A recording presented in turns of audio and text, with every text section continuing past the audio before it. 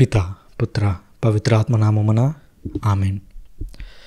క్రీస్తునాథుని యందు ప్రేమైనటువంటి సహోదరి సహోదరులారా ఈరోజు ఒక ఆసక్తికరమైనటువంటి అంశంతో మేము ముందుకు వచ్చాను కథోలిక దేవాలయాల్లో ఉన్నటువంటి మరియ తల్లి లేదా యేసుక్రీస్తు స్వరూపాలకు కన్నీరు కానివ్వండి రక్తం కానివ్వండి ఆ రెండు వస్తూ ఉన్నాయి. వాటిని మనం అద్భుతాలుగా పరిగణించాల్సిందేనా? ఒకవేళ మీ విశ్వాసం కనుక ఇలాంటి అద్భుతాల మీద. అనగా స్వరూపం నుంచి రక్తము లేదా నీరు కన్నీరు తేనె పాలు ఇలాంటివి వస్తూ ఉంటే వాటి మీద మీ విశ్వాసం ఆధారపడి ఉంది అని మీరు నమ్మితే ఈ వీడియోని ఈ క్షణమే ఇక్కడే ఆపేసి వెళ్ళిపోండి. మీ విశ్వాసంలో మీరు బతకండి. నేను ఆ విశ్వాసాన్ని దాటి మరీ మరికొన్ని అంశాలను మీకు చెప్పబోతున్నాను. ఇలా అద్భుతాలు జరిగాయి అని ఖచ్చితంగా నిర్ధారణ జరిగేటువంటి కొన్ని అంశాల అంశాలలో ఇవి విజయం సాధిస్తే అప్పుడు వీటిని నమ్మాలి. అయితే వీటిని ఎప్పుడు నమ్మాలి అనేటువంటి అంశాన్ని చర్చించే ముందుగా అసలు ఇలా ఎందుకు జరుగుతుంది? మరియమాత కానివ్వండి యేసుక్రీస్తు కానివ్వండి ఇతర పునీతుల యొక్క స్వరూపాల కళ్ళ వెంబడి రక్తం కానివ్వండి నీరు కానివ్వండి ఇవి ఎందుకు వస్తుంది అనేది ఒక చిన్న ప్రశ్న. దానికి సమాధానం కనుగొనేటువంటి ప్రయత్నం చేద్దాం. దీనికి ప్రధానంగా రెండు కారణాలు ఉన్నాయి అందులో మొట్టమొదటిది కండెన్జేషన్ అని పిలుస్తారు. దీనికి తెలుగు పదం మేబీ తెలుగు మీడియం చదివిన వాళ్ళు ఎవరైనా ఉంటే చెప్పండి. కండెన్జేషన్ అని అంటే ఏంటంటే ఆవిరి రూపంలో ఉన్నటువంటి నీరు. అది వాతావరణంలో కానివ్వండి ఏదైనా ఒక వస్తువులో కానివ్వండి. వాతావరణంలో కానీ వస్తువులో కానీ ఆవిరి రూపంలో ఉన్నటువంటి నీరు ద్రవ రూపంలోకి మారడాన్ని ఇంగ్లీష్ భాషలో కండెన్జేషన్ అని పిలుస్తారు. స్వరూపాలలో ఆ స్వరూపాల యొక్క రూపంలో ఎక్కడో ఒక చోట నుంచి లేదా కంటి దగ్గర నుంచి లేదా ఇతర ప్రాంతాల నుంచి నీటి దారులు కానీ బయటకు వచ్చినట్లయితే లేదా నీటి చుక్కలు బయటకు వచ్చినట్లయితే దాని వెనుక ఉండేటువంటి సహజమైన కారణం ఇదొకటి. ఈ కండెన్జేషన్ అనేటువంటి ప్రక్రియ.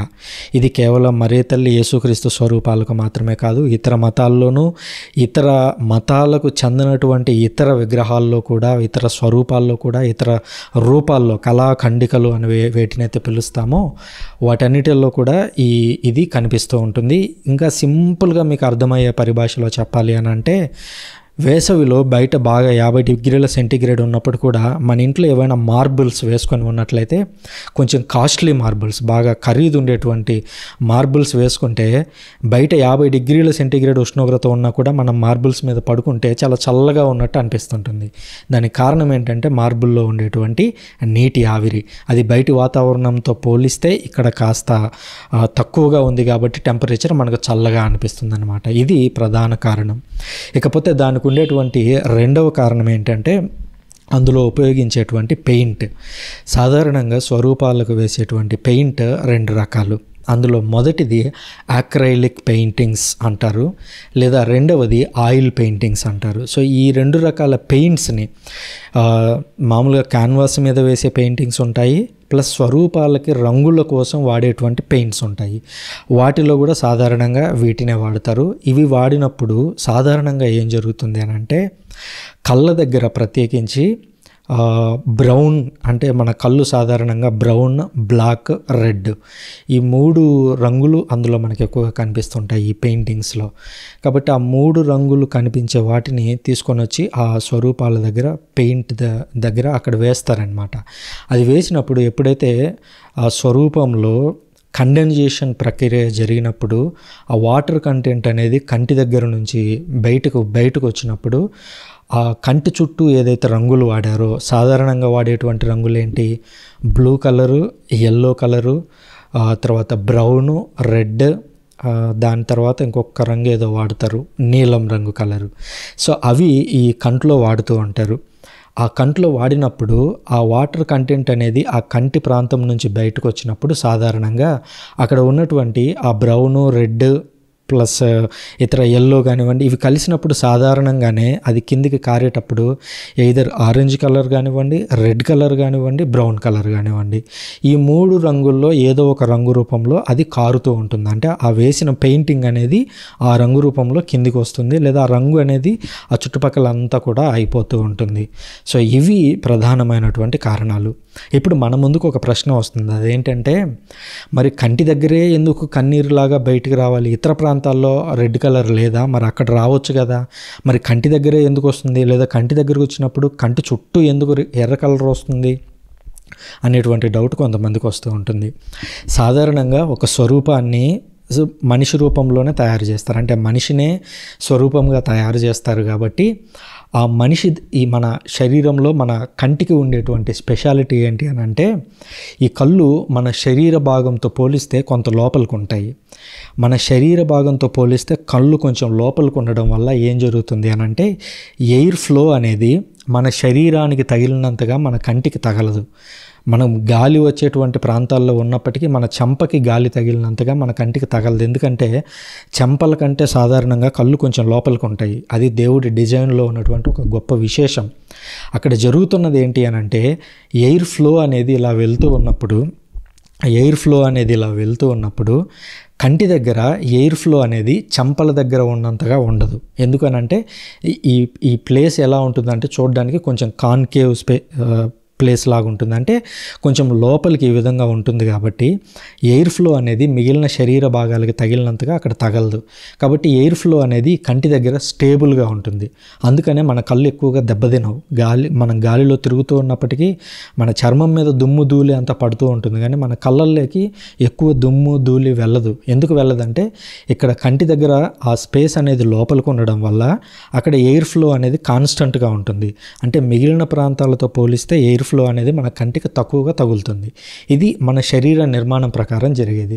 సో స్వరూపాల్లో కూడా సేమ్ ఇదే జరుగుతుంది. స్వరూపాలను కూడా చూసినట్లయితే మనం కొంచెం చెంపలు పైకి ఉంటాయి కళ్ళు లోపలికి ఉంటాయి అందువల్ల కళ్ళ దగ్గర టెంపరేచర్ అనేది మిగిలిన ప్రాంతాలతో పోలిస్తే కొంచెం స్టేబుల్గా ఉంటుంది.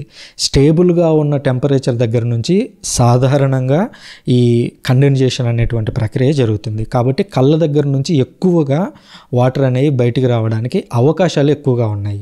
సో ఈ స్వరూపాల్లో కూడా అదే కనిపిస్తూ ఉన్నట్లుగా మనం చూస్తూ ఉన్నాం. కాబట్టి ఈ రెండిట్లో ఏదో ఒక రీజన్ వల్ల మనకి ఈ అద్భుతాలు జరిగినట్లుగా లేదా రక్తం వస్తున్నట్లుగా కనిపిస్తూ ఉంది. అయితే కేవలం ఇది జరిగింది కదా లేదా ఒకటి కండెన్జేషన్ ప్రక్రియ రెండు పెయింటింగ్ ఈ రెండు కారణాలు కాకుండా అసలు అందులో అద్భుతం అనేది లేదా అని అడిగితే అద్భుతం అనేది ఉంటుంది. ఎప్పుడు ఉంటుంది అని అంటే దానికి కొన్ని సర్టెన్ కండిషన్స్ అనేవి ఖచ్చితంగా మీట్ అయి తీరాలి.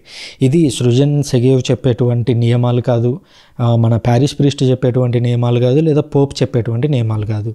చర్చ్ అనేది డాక్యుమెంట్ రూపంలో విడుదల చేసినటువంటి కొన్ని నియమాలు. సో ప్రపంచవ్యాప్తంగా క్యాథలిక్ చర్చ్లో ఇలాంటి అద్భుతాలు ఎక్కడ జరిగినా. అది ఇండియా కానివ్వండి ఆఫ్రికా కానివ్వండి జపాన్ కానివ్వండి అమెరికా కానివ్వండి. అద్భుతాలు ఎక్కడ ఇలాంటివి జరిగినా సరే దానికంటూ ఒక ప్రొసీజర్ ఉంది. ఈ ప్రొసీజర్ ఫాలో అయ్యి ఆ ప్రొసీజర్లో అది అద్భుతమని తేలితే మాత్రమే దాన్ని అద్భుతంగా ప్రకటించాలి అద్భుతంగా నమ్మాలి. సో దీనికి నేను చెప్పేటువంటిది ఏం కాదు కొంతకాలం క్రితమే ఒక మూడు నాలుగు నెల నెలల క్రిందట మే నెలలో. సో మే నెల పదిహేడవ తేదీన రెండు వేల ఇరవై నాలుగు మే నెల పదిహేడవ తేదీన క్యాథలిక్ చర్చి పోప్ ఆధ్వర్యంలో ఒక డాక్యుమెంట్ విడుదల చేసింది. దాని పేరు మీరు గూగుల్లోకి వెళ్ళి కొట్టినా కూడా ఈ డాక్యుమెంట్ మీకు దొరుకుతుంది. దాని పేరు norms for discernment of apparitions and other supernatural phenomena. అంటే ఏవైనా అద్భుతాలు జరిగినప్పుడు లేదా దర్శనాలు జరిగినప్పుడు పరిశీలించాల్సినటువంటి నియమాలు అనేటువంటి పే అనేటువంటి పేరుతో ఒక డాక్యుమెంట్ను విడుదల చేసింది. దీన్ని విడుదల చేసింది ఎవరు అని అంటే క్యాథలిక్ చర్చ్లో ఒక హయ్యెస్ట్ బాడీ ఉంది. అంటే దీన్ని పోప్ దీనికి జస్ట్ సైన్ చేస్తారు. పోప్ కింద ఒక ప్రత్యేకమైనటువంటి మంత్రిత్వ శాఖ లాగా ఉంటుంది. దాన్ని మన చర్చి పరిభాషలో డికాస్టరీ అని పిలుస్తారు. Dicastery for faith. అంటే విశ్వాస సంబంధిత అంశాలకు సంబంధించినటువంటి మంత్రిత్వ శాఖ లాగా చెప్పొచ్చు దీన్ని. అంటే ఆ శాఖలో కొంతమంది సభ్యులు ఉంటారు. ఆ సభ్యులు పోప్ ఆధ్వర్యంలో ప్రపంచవ్యాప్తంగా ఉన్నటువంటి థియోలాజియన్స్ అందరినీ కలిపి వాళ్ళ నుంచి అభిప్రాయాలను తీసుకొని బైబిల్లో ఉన్నటువంటి అంశాలను పరిశీలించి ఆ విధంగా కొన్ని నియమాలని తయారు చేస్తారు. సో ఇప్పుడు ఏవైనా అద్భుతాలు జరిగినా ఏవైనా దర్శనాలు కనిపించాయి అని తెలిసినా కొన్ని నియమాలను అనేటిని ఫాలో అవ్వాలి. వీటిని అందులో చాలా నియమాలు ఉన్నాయి. నేను ప్రధానంగా ఈ ఈ అంశం గురించి మాట్లాడుతున్నాం కాబట్టి దీనికి సంబంధించి ఈ ఏడు అంశాలను నేను చెప్పాను. ఈ ఏడు అంశాలను కానీ అది మీట్ అయింది అని అంటే ఆ అద్భుతం అప్పుడు అది సూపర్ న్యాచురల్ అంటే ఇది దేవుని నుంచి వచ్చింది అని నమ్మొచ్చు దాన్ని అఫీషియల్గా ప్రకటించవచ్చు. సో అందులో మొట్టమొదటిది. ఈ విషయంలో స్థానిక పీఠాధిపతి పాలు పంచుకోవాలి. అంటే దర్శనం జరిగింది. దర్శనం జరిగిన తర్వాత ఆ పీఠాధిపతి ఖచ్చితంగా ఆ ప్రాంతానికి రావాలి ఆ అద్భుతాన్ని చూడాలి. అంటే అప్పుడు ఆ స్థానిక మేత్రాసనంలో అది అధికారికంగా ముద్ర వేయడానికి మొట్టమొదటి గుర్తు. అంటే పలాని చోట అద్భుతం జరిగింది అని అంటే మొట్టమొదటగా వేసుకోవాల్సినటువంటి క్వశ్చన్ ఏంటి అని అంటే అక్కడికి బిషప్ వచ్చాడా? రాలేదా.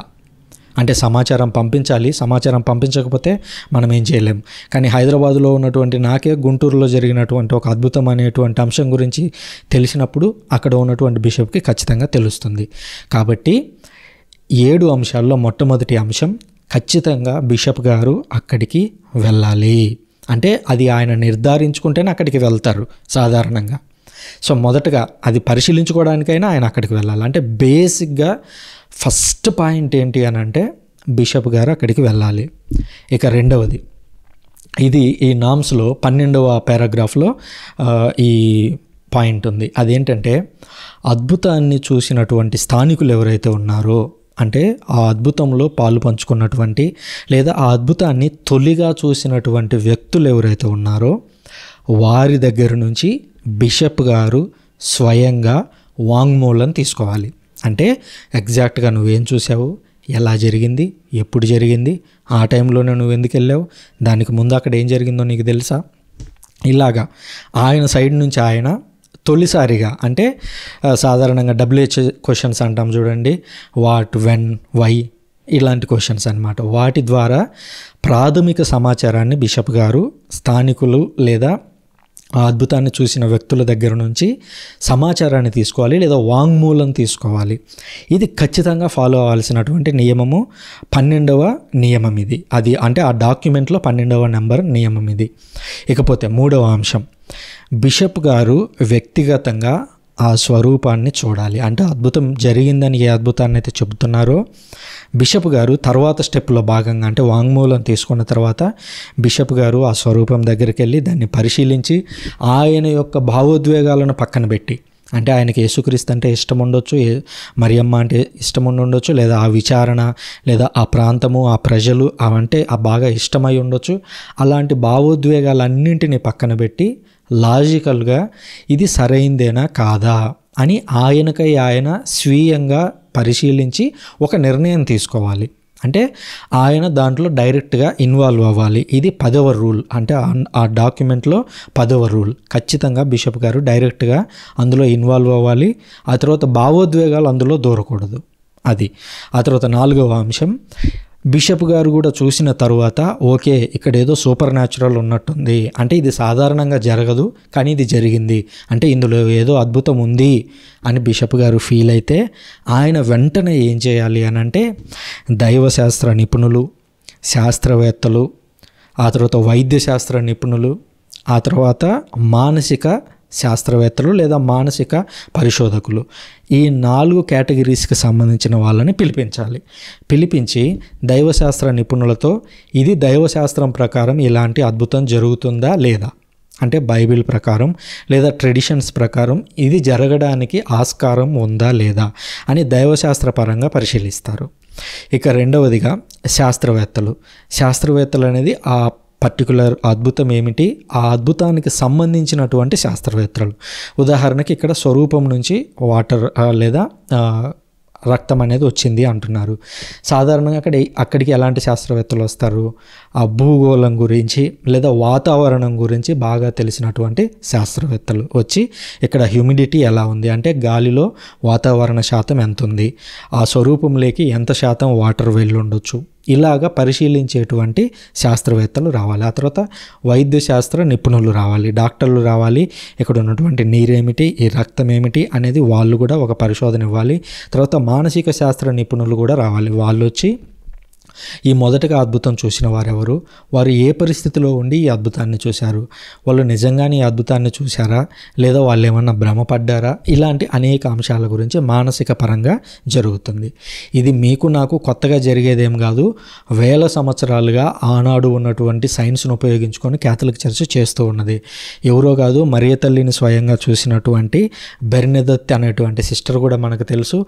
ఆమెను కూడా స్వయంగా పోపు గారు పిలిపించుకొని ఈ క్వశ్చన్స్ అన్నీ అడిగారు. మానసిక శాస్త్ర నిపుణులను కూర్చోబెట్టించి ఆమెను అనేక రకాల ప్రశ్నలు అడిగారు. మరి తల్లి ఎలా కనిపించారు? కనిపించినప్పుడు ఎలా ఉన్నారు? ఏ వస్త్రాలు వేసుకున్నారు? ఏ కలర్ లైట్ కనిపించింది? ఇలా రకరకాలుగా. సో కాథలిక్ చర్చిలో అద్భుతాన్ని ప్రూవ్ చేయడం అంటే అంత ఈజీ కాదండి. మిగిలిన ప్రొటెస్టెంట్ సంఘాల్లో లాగా నాకు జ్వరం తగ్గిపోయింది నాకు క్యాన్సర్ తగ్గిపోయింది నాకు కడుపులో గడ్డ తగ్గిపోయింది నాకు ఇంతకుముందు కాళ్ళు లేవు కాళ్ళు వచ్చినాయి. ఇలా కాదు. ప్రతిదానికి ఎవిడెన్స్ అనేది ఖచ్చితంగా జత అయ్యి ఉండాలి. సో ఈ విధంగా దైవశాస్త్ర నిపుణులు శాస్త్రవేత్తలు వైద్యశాస్త్ర నిపుణులు ఇలా అందరూ రావాలి. ఇది పద్నాలుగు పదిహేను నియమాలు. ఆ డాక్యుమెంట్లో పద్నాలుగు పదిహేనవ నియమం. ఇక ఐదవ అంశం. స్వరూపం నుంచి వచ్చినటువంటి రక్తం కానివ్వండి నీరు కానివ్వండి పాలు కానివ్వండి తేనె కానివ్వండి వీటిల్లో ఏవైనా వస్తే అవి నిజమైనవా కాదా అని వైద్య శాస్త్ర నిపుణులు ఎవరైతే ఉంటారో మనం ఫీవర్ వచ్చినప్పుడు టైఫాయిడ్ వస్తే బ్లడ్ టెస్ట్కి పంపిస్తాం చూడండి. అలాగ అక్కడి నుంచి ఆ స్వరూపం నుంచి శాంపిల్స్ తీసుకొని ఇది నిజంగా అసలు రక్తమా కాదా? ఇది ఒకవేళ పెయింటా? లేకపోతే ఈ వాటర్ బయట నుంచి తెచ్చి ఇక్కడ పోసారా లేదా పెయింట్ తెచ్చి పూసారా లేదా రక్తం ఎవరిదైనా తెచ్చి అక్కడ అంటించారా? లేదా నిజంగానే స్వరూపంలో నుంచి వచ్చిందా? ఇలా ఇలాగా. మనకు టైఫాయిడ్ ఇప్పుడు ఉదాహరణకు ఒక వెయ్యి రూపాయలు ఇస్తే మూడు నాలుగు వందల రకాల టెస్టులు చేస్తామని ఆన్లైన్లో కనిపిస్తూ ఉంటుంది చూడండి. అలాగా ఈ నిపుణులు ఎవరైతే ఉంటారో ఈ టెస్టులకు సంబంధించిన వాళ్ళు వాళ్ళు వచ్చి స్వరూపం దగ్గర ఈ శాంపిల్స్ తీసుకొని వెళ్ళి ఖచ్చితంగా టెస్ట్ చేసి ఆ పరీక్షల రిపోర్ట్స్ అన్నీ కూడా బిషప్ గారికి ఇవ్వాలి. ఇది పదమూడవ నియమం అందులో. ఆ డాక్యుమెంట్లో ఉన్నటువంటి పదమూడవ నియమం. ఇక ఆరవ అంశాన్ని పరిశీలించినట్లయితే బిషప్ గారు ప్రత్యేకంగా ఒక మానసిక వైద్యశాస్త్ర నిపుణుడిని పిలిచి అతనితో ఆ విచారణ గురువును అక్కడ ఉన్నటువంటి స్థానికులని వారందరినీ పిలిచి ఒక్కొక్కరిగా మాట్లాడిస్తారు. మాట్లాడించినప్పుడు అతను ఆ అద్భుతాన్ని చూసినటువంటి సమయంలో స్థానికులు ఎలా ఫీల్ అయ్యారు? ఫాదర్ గారు ఎలా ఫీల్ అయ్యారు? వారు నిజంగానే అద్భుతాన్ని చూశారా? లేదా చూశామనుకుంటున్నారా? ఆ విధంగా ప్రాక్టికల్గా ఆయన కొన్ని క్వశ్చన్స్ వేసి వారి నుంచి ఒక సత్యాన్ని తెలుసుకునేటువంటి ప్రయత్నం చేస్తారు. సో ఈ విధంగా ఈ ఆరు అంశాల ద్వారా వచ్చిన రిపోర్ట్స్ అన్నింటినీ బిషప్ గారు కట్టగలిపి తన దగ్గర ఉంచుకుంటారు. ఉంచుకున్న తర్వాత ఈ ఆరు అంశాలను పరిశీలించి బిషప్ గారు ఒక తుది నిర్ణయం తీసుకుంటారు. ఏమని? ఇక్కడ అద్భుతం జరిగింది అని ఒక నిర్ణయం తీసుకున్నారనుకోండి. తీసుకుంటే అది ఫైనల్ కాదు. దాని తర్వాత బిషప్ గారు ఏం చేయాలి అని అంటే మనకి రోమ్లో పోపు గారి కింద పనిచేసేటువంటి డికాస్టరీ ఫర్ ఫెయిత్ అనేటువంటి ఒక ప్రత్యేకమైనటువంటి విభాగం ఉంది. ఆ విభాగానికి ఈ డీటెయిల్స్ అన్నింటినీ పంపిస్తారు. పంపిస్తూ బిషప్ గారు ఒక లేఖను కానీ లేదా తన యొక్క సందేశాన్ని వారికి పంపిస్తూ సమాచారం ఇస్తారు. ఏమని? ఇదిగోయా మా దేశంలో పలాని మేత్రాసనంలో పలాని విచారణలో ఈ విధమైనటువంటి అద్భుతం జరిగింది. ఈ అద్భుతం జరుగుతూ ఉండగా లేదా ఈ అద్భుతం జరిగినప్పుడు చూసినటువంటి స్థానికుల యొక్క వాంగ్మూలం ఇది. వారి దగ్గర నుంచి నేను డీటెయిల్స్ తీసుకున్నాను. తీసుకున్న తర్వాత అక్కడికి శాస్త్రవేత్తలని మానసిక వైద్య శాస్త్ర నిపుణులని అలాగే మన దైవ పండితులని అందరినీ పంపించాను. పంపించి వారి దగ్గర నుంచి పూర్తి సమాచారం సేకరించి వాటన్నింటినీ రిపోర్ట్స్ రూపం రూపంలో భద్రపరిచి వాటన్నింటినీ నేను మీకు పంపిస్తున్నాను. నా అభిప్రాయం ప్రకారం ఇది అద్భుతమని అనిపిస్తూ ఉంది. కాబట్టి మీరు దీన్ని పరిశీలించి మాకు తుది నిర్ణయం తెలియజేయండి అని చెబితే అప్పుడు ఆ డికాస్ట్రీ ఫర్ ఫెయిత్ వారు మరలా దాన్ని పరిశీలిస్తారు. బిషప్ గారు పంపించినటువంటి డీటెయిల్స్ అన్నింటిని పరిశీలించి అందులో ఏవైనా లోటుపాట్లు ఉన్నట్లయితే మళ్ళీ బిషప్ గారిని సంప్రదించి డీటెయిల్స్ అన్నీ ఇంకా అవసరమైనటువంటి డీటెయిల్స్ ఇంకా ఎక్కువ తెప్పించుకొని అవసరమైతే ఇక్కడ ఉన్నటువంటి ప్రజలు అద్భుతం చూసిన వాళ్ళు దాని యొక్క ఇంపార్టెన్స్ని బట్టి బిషప్ గారు స్వయంగా బిషప్ గారి ద్వారా వాళ్ళందరినీ రూమ్కైనా సరే తీసుకొని వెళ్ళి ఆ డీటెయిల్స్ అన్నీ ఫుల్ఫిల్ చేసుకున్న తర్వాత ఓకే ఇక్కడ అద్భుతం జరిగింది అని ఆ డికాస్ట్రీ ఫర్ ఫెయిత్ వారు కూడా అంటే ఆ విభాగం కూడా డిసైడ్ అయితే అప్పుడు దాన్ని ఫైనల్ అప్రూవల్కి మన యొక్క పోపు గారికి పంపిస్తారు. అప్పుడు పోపు గారు మరలా ఒకసారి దాన్ని టాప్ టు బాటం చదివి ఆయనకు పవిత్రాత్మ ప్రేరణ ద్వారా ఇది అద్భుతము అని ఆయన భావిస్తే ఆయన దాన్ని అప్పుడు ప్రపంచవ్యాప్తంగా ప్రకటిస్తారు. ఇది అద్భుతాల వెనుక ఉండేటువంటి అతిపెద్ద ప్రొసీజర్ సో అంటే ఈ ఏడు స్టెప్పులలో ఎక్కడ ఏ స్టెప్ మిస్ అయినా సరే దాని అర్థం ఏంటంటే అది అద్భుతం కాదు అని అర్థం. అంటే మొట్టమొదటి స్టెప్లోనే బిషప్ గారే అసలు ఆ విచారణకు రాలేదు. ప్యారిస్ ప్రీస్టు ప్రజలు వెళ్ళి బిషప్ గారికి చెప్పారు. బిషప్ గారు ఏదో ఫోన్లు చేసుకుంటారో లేదా ఎవరో ఒకరి ద్వారా సమాచారం సేకరిస్తారో ఏదో ఒక విధంగా. బిషప్ గారు మొట్టమొదటిగా అక్కడికి వెళ్ళలేదు అని అంటే ఫస్ట్ స్టెప్లోనే చెప్పేయచ్చు అది అద్భుతం కాదు అని బిషప్ గారు ఫీల్ అయ్యారు. కాబట్టి దాన్ని అద్భుతంగా మనం ప్రకటించాల్సిన పని లేదు. బహుశా అక్కడ ప్రార్థనలు జరుగుతూ ఉండొచ్చు విశ్వాసుల యొక్క విశ్వాసం ప్రకారం కాస్త ప్రార్థనలు చేస్తూ ఉండొచ్చు లేదా ప్రత్యేక ప్రార్థనలు నిర్వహిస్తూ ఉండొచ్చు. అది ఓకే ఏది ఆ విచారణ వరకు. కానీ బిషప్ గారు ఇన్వాల్వ్ అవుతున్నారంటే అది యూనివర్సల్ చర్చ్ ఇన్వాల్వ్ అవుతున్నట్టు. కాబట్టి బిషప్ గారు అంత ఈజీగా ఇలాంటి వాటిల్లో ఇన్వాల్వ్ అవ్వరు. ఇప్పుడు ఆయన వాళ్ళు సింగారం కానివ్వండి మొన్న కడపలో జరిగినప్పుడు కానివ్వండి ఇప్పుడు ప్రజెంట్ గుంటూరులో జరిగినప్పుడు కానివ్వండి బిషప్లు ఎంటర్ అయ్యారా? ఓకే ఎంటర్ అయ్యారు. వాళ్ళు స్వరూపాల దగ్గరికి వచ్చి పరిశీలించారా? ఓకే పరిశీలించారు. రెండో స్టెప్ కూడా అయిపోయింది. మూడో స్టెప్ దైవశాస్త్ర పండితులను వైద్యులను ఆ తర్వాత ఈ టెస్టులు చేసే వాళ్ళు ఉంటారు కదా వాళ్ళని మానసిక శాస్త్ర నిపుణులని వీళ్ళందరినీ పిలిపించారా? పిలిపించలేదు. పిలిపించలేదంటే అవుట్ అది అద్భుతం కాదు అని బిషప్ గారు ఫీల్ అయ్యారు అక్కడ. కాబట్టి దాన్ని ఆయన అంతకు ము అంతకు మించి ముందుకి తీసుకెళ్ళట్లేదని అర్థం. సో ఈ విధంగా కథోలిక శ్రీసభలో అద్భుతాలను ఖచ్చితంగా నిర్ధారించేటువంటి ప్రక్రియ అనేది ఒకటి ఉంది అని గుర్తుంచుకోవాలి. అయితే ఇదేమి కొత్త విషయం ఏం కాదు కేవలం క్యాథలిక్ చర్చిలో మాత్రమే కనిపిస్తున్నటువంటి అద్భుతమేమి కాదండి. ప్రపంచవ్యాప్తంగా చాలా చోట్ల ఇలాంటి ఫినామినాస్ అనేవి ఇలాంటి సందర్భాలు అనేవి ప్రపంచవ్యాప్తంగా చాలా చోట్ల కనిపిస్తున్నాయి. ఉదాహరణకి మన ఇండియాలోనే మీరే స్వయంగా చూసి ఉంటారు యూట్యూబ్లోకి వెళ్ళి మీరు కొట్టండి పాలు తాగే వినాయకుడి విగ్రహాలు కొన్ని ఉన్నాయి. అంటే ఒక స్పూన్లో పాలు పోసి వినాయకుడి బొమ్మ దగ్గర వినాయకుడి విగ్రహము లేదా బొమ్మ యొక్క నోటి దగ్గర ఉంచితే ఆ పాలన్నీ వాటికై అవి మాయమైపోతున్నాయి. లేదా ఆ స్వరూపం నోటి దగ్గర పోస్తే అవన్నీ మాయమైపోతున్నాయి. అక్కడ ఏం జరుగుతుంది అని అంటే ఆ మెటీరియల్ ఎలాంటిది లేదా ఆ రాయి ఎలాంటిది లేదా ఆ విగ్రహం తయారు చేసినటువంటి పదార్థం ఏదైతే ఉందో ఆ పదార్థం ఎలాంటిది అని అంటే అది తనలోకి వాటర్ని పీల్చుకో పీల్చుకోగలిగేటువంటి గుణం కలిగింది. కాబట్టి అది వెంటనే ఇది అద్భుతం జరిగిపోతుంది అనేటువంటి అభిప్రాయంలోకి పోకూడదు. అలాగే ఇస్లాంలో మనం పరిశీలించినట్లయితే దర్గాలు ఉంటాయి ఇది కొన్ని రకాల ఇస్లాంలో కూడా రెండు మూడు రకాల గుంపులు ఉన్నాయి అందులో ఒక గుంపు ఈ దర్గాలను నిర్మిస్తుంటారు. దర్గాలు అని అంటే ఇస్లాం మతంలో మంచిగా జీవించి చనిపోయినటువంటి వ్యక్తులు ఎవరైతే ఉంటారో వారి యొక్క సమాధినే దర్గా అని పిలుస్తారు. ఆ దర్గాలో ఆ సమాధి నుంచి ప్రత్యేకంగా కొన్ని రకాల వాటర్ రావడం లేదా సువాసనలు వెదజల్లుతూ ఉండడం లేదా బయటకు వచ్చినటువంటి వాటర్కి లేదా ఇతర పదార్థాలు పాలు లాంటివి వచ్చినప్పుడు అక్కడ సువాసనలు వెదజల్లడం ఇలాంటి ఫినామినాన్ అనేది కొన్ని కొన్ని చోట్ల ఆల్రెడీ అబ్జర్వ్ అయింది. అది మాత్రమే కాదు బుద్ధిజంలో కూడా ప్రత్యేకించి థాయిలాండ్ శ్రీలంకల్లో మనం మన కేథలిక్ చర్చిలో ఇప్పుడు ఈ స్వరూపాల గురించి ఎలా చెప్తున్నారు? అలాగా బుద్ధుడు ప్లస్ బోధిసత్వుడు వీళ్ళిద్దరికీ సంబంధించినటువంటి విగ్రహాల నుంచి కూడా వాటర్ బయటకు వస్తున్నట్లుగా రిపోర్ట్స్ ఉన్నాయి.